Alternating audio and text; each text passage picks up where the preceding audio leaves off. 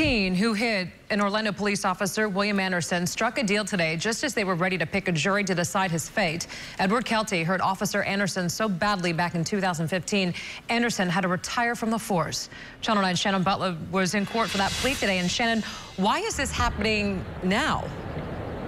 Well, there was some last minute negotiations over the weekends. For months, they've been kind of haggling this out. This still means that Edward Kelty could spend life behind bars, but the defense told us stay with the experts they're going to bring up. The talk about him being a juvenile, it could mean that Kelty spends a whole lot of time less behind bars.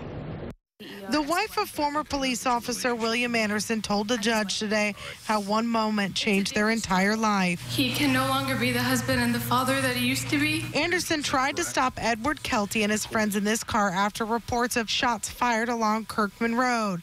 Anderson is seen in this video in 2015 telling them to stop, but they didn't. Kelty was the driver of that car. He and his friends fled the scene, leaving Anderson lying on the ground.